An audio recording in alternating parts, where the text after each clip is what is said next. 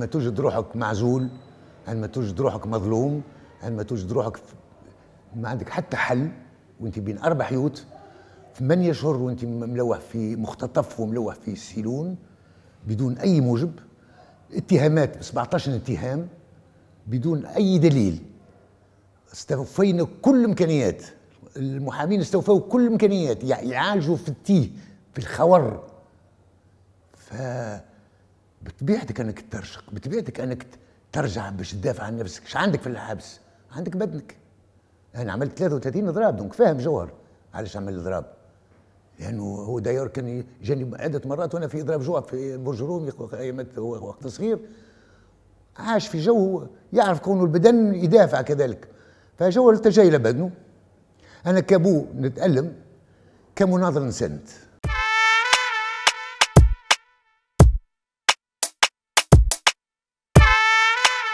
طبعا الجوع كافر.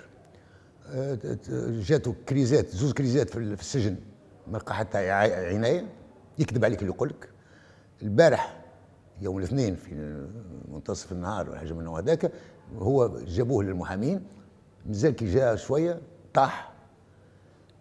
هزوه قالوا مش هزوه للمستشفى. بالصدفه دليل بنتي لأخته محامية نتاعو حاولت باش تخلط. ما راح الا ولا البوليسية اللي المفروض يعاونوا والمفروض يوريوها ويهزوها معاهم. حجزوها في الثنية باش ما تتعداش باش خلوا الهلمه تتعدى خاطر ما يمشيش وحده في كرهبه وما كان نجم يحوزوه في تاكسي ما, ما, ما, ما يصح حتى شيء ما يجرى. هلمه كبيرة عامل القاوق الفارغ نتاعك الفقراء في المخ الكرهبه المسلفة بالديون وليسانس وشهريات ضايعة هزوه.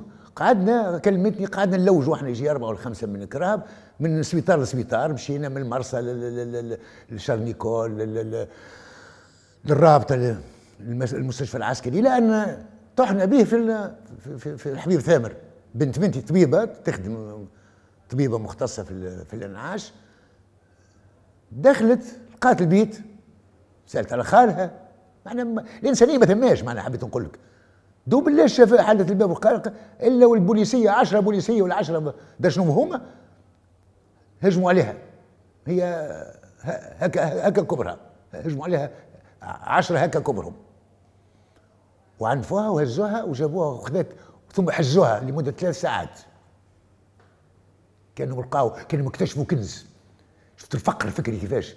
شفت التخلف وين يوصل شفت البشاعة نتاع النظام تو هذا؟ أنه طبيبة تمشي تشوف خالها تختطف بالدرجه بشكلك الفظيع هذاك. ثم هزوها لسيدي بشير ملك سيدي بشير غاديك عملوا لها محضر. اوراق وفلوس ومليارات ماشيه كاكا باش يظهروا لك الهيبي الفارغ. إحنا نعرفوكم فارغين. نعرفوكم ما تسوى حتى شيء حتى شيء حتى شيء. أنا متأكد أن الأجهزة هذه هي أجهزة قمعية لا تصلح لبناء تونس. هي تهدم في تونس.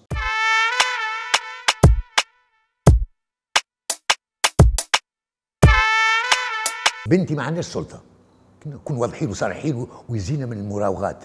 السلطة في يد قيس سعيد. كل السلطات في قيس سعيد. donc الحديث عن السلطة هو آه هو مراوغة وضحك على الذقون. السلطة كل السلطات في يد قيس سعيد. في البلاد كلها توا ضيعة. وقيس سعيد يحكم في الضيعة. هو يحكم في القضاء يحكم في الإدارة يحكم في الأمن يحكم في البوليس يحكم في العسكر يحكم في كل شيء. هو اللي يقول اقف اقف قوم قوم. donc هو في قرطاج غير شرعي غير قانوني داس الدستور داس القوانين قام بانقلاب ضد الدولة حطم الدولة هو ما عنده حتى مشروعية غادي ورغم ذلك يحكم في كل شيء. donc ما نجموش نتكلموا على قضاء هذا ضحك على الذقون نفاق كذب لا هو وجود ولدي ورفاقه والمسجونين في المعتقلات نتاع قيس سعيد هم مسجونين سياسيا. لأنه قيس سعيد يحب يستفرد بالشعب باش يخرف له في الليل اللي يحب يسمعه.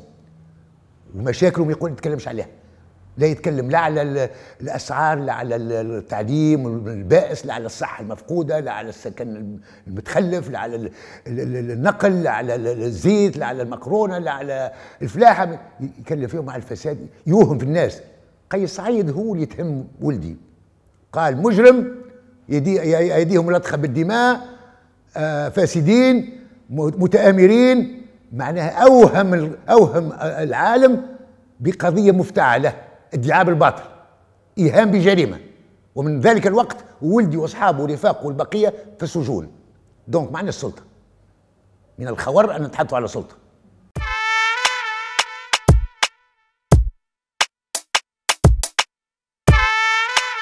اولا آه، جماعة النهضة هم توانسة أب عن جد. كيما جماعة السبسي كيما جماعة النداء كيما جماعة التجمع. كيما أنا وأنت. هذا أول ساعة.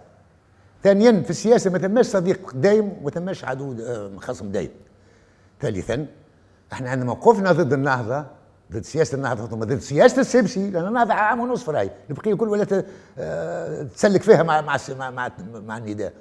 فإحنا كنا ضد أخطاء السلطة آنذاك. إحنا دائما كنا contre-pouvoir السلطه مضاده عندما أصبحت النهضة في نفس الخندق نتاعنا ضد الانقلاب نسبوهم؟ ناس مناضلين اكتشفت أن فما مئات باش ما نقولش أكثر مئات مناضلين بالمجد ويدافعوا معايا على ضد الانقلاب ويحبوا نحيوا الانقلاب ونرجعوا المسار الديمقراطي ونرجعوا أحلام الشعب التونسي نحبوا الحق وأحلام الشعب التونسي. كي نلقى واحد يقول لي آه أنا معاكم نقول له لا أنت تخى كلام هذا. ما هو ما هو السبسي جا معنا في الاعتصام برضه. ما هو إحنا عملنا ما هو جوهر دعاية الاعتصام برضه اثنين. وبعد 15 يوم النداء خلط علينا. وإحنا كنا نعرف كنا النداء مش ياخذ السلطة. لأن إحنا غير قادر لا إحنا طالبين السلطه ولا إحنا آه، قادرين باش ناخذ السلطة. عارفين كون النداء مش ياخذ السلطة. والنداء هو اللي حطنا في الحبس قبل. بيجي قيد السبسي كان وزير الداخليه وحطنا في الحبس قبل. النهضه ما حطناش في الحبس رغم اللي سبيناهم وقلنا قلنا فيهم أكثر من اللي تصور ورغم ذلك وقت كانوا في السلطة ما حطوش ولدي ولا بنتي في الحبس. ما حطونيش أنا في الحبس. لا. دونك من المعقول ما نفهمش كيفاش تقول لي كيفاش جماعة النهضه معك شيء طبيعي. كيفاش أنا ما نجمش نكون مع آه، مع جماعة النهضة وكيفاش جماعة النهضة ما يكونوش معايا كيما البقية الأخرى. كل ما هو ضد الانقلاب هو في نفس الخندق معايا وأنا معه